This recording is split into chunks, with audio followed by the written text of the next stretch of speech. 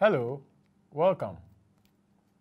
In our previous lesson, we looked at self-identity and attitudes that enhance self-worth. In this lesson, we shall look at strengths as unique individuals. By the end of the lesson, the learner will be able to identify at least four strengths as unique individuals. Now, let's just consider some of the strengths of the individual. Self-confidence. It is very, very crucial. If you are not confident, you can never identify your talents. For example, at school, when a teacher enters a class, he puts a question on the board or asks a question, you know the answer, but out of fear and low self-esteem, you buckle. It is important to do and do what you can do well. Motivate yourself, gather confidence, and you'll be able to do wonders. So self-confidence is important and it's an important requirement or ingredient in the individual, which forms part of his or her strengths. The next is high self-esteem.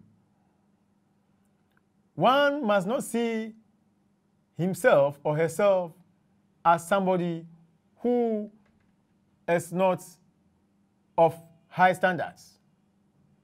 For example, one who is academically dull.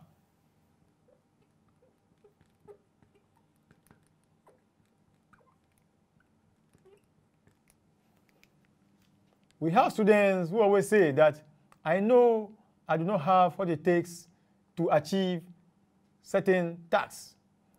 So when they are calling people who are capable of performing certain duties, he or she stays aloof. It is very, very wrong because developing high self-esteem about yourself is important. There are things you can do that others cannot do. Identify those things you can do and do them well. You can only do that by developing superiority complex.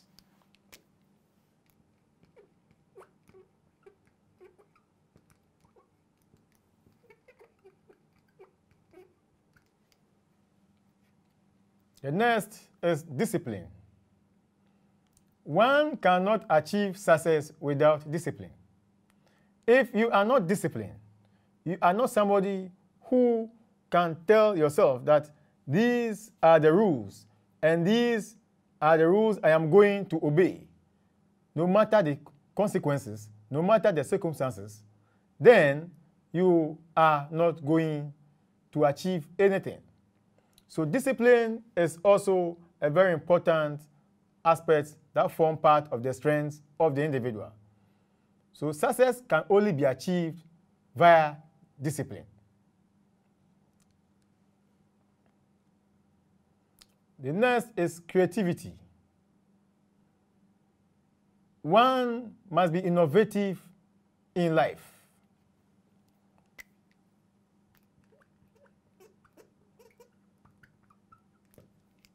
When we talk about innovation, we are talking about the ability to come out with certain things or certain creations by using one's own skills in achieving that.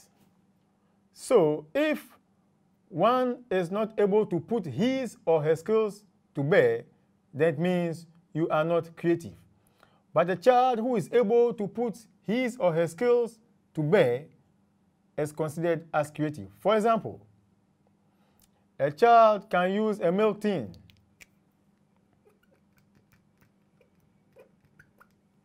to mold a car. That suggests that that child is capable of becoming an engineer. And once that child is showing these things, it also suggests that that child is highly creative and should be given the needed attention. Patience. Patience they say, moves mountains. If you are patient, it helps you in several ways. So patience is also part of the strength of an individual. Patience shows maturity. Patience shows that the individual is capable of handling and controlling his or her emotions. So patience forms key part of the strengths of an individual. Respect. We live in a society where respect is seen or perceived as virtue. One who does not show respect to the elderly or to his peers is seen or considered a deviant.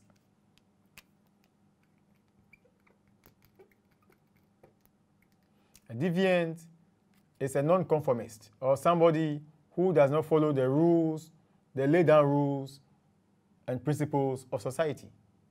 So, respect is key. What are some of the ways that we show respect? Greeting the elderly with the right hand as one of the examples of showing respect. Using words, choosing your words carefully when talking to an elderly person is also a sign of respect. Determination. One must also develop that innate drive to achieve success. There is no success without failure. Success is a bedfellow to failure.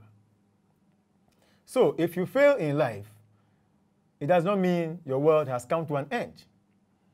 One must be determined to do it again, over and over and over again until success is achieved. And this can only materialize via determination.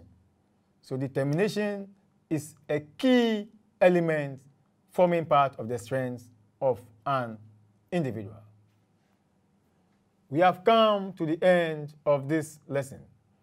And in this lesson, we looked at the strengths of an individual. In our next lesson, we shall consider weaknesses as unique individuals. See you in the next lesson.